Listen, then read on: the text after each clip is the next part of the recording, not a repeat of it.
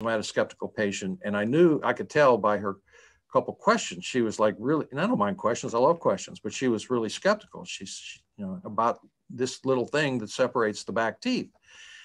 And i said if you if you had a knee if you had knee pain if you had long-term knee pain or short-term knee pain you went to your orthopedic surgeon and he said well he said i think we're going to need some do some surgery on this on this knee and you go i don't know. I don't think i want to have any surgery on my knee. And he go okay. I know. He'd go okay. And you say was there anything i can do? He says yeah. He would he would order out a set of crutches. And he'd give you that set of crutches. And what do the crutches do? They take the load off the knee. When the load comes off the knee the inflammation goes away. When the inflammation goes away the pain goes away. Because one of the as you know from your your primary pathology course in dental school or if there are any medical doctors out there listen in medical school because i did it both ways you know inflammation one of the five primary characteristics of inflammation is pain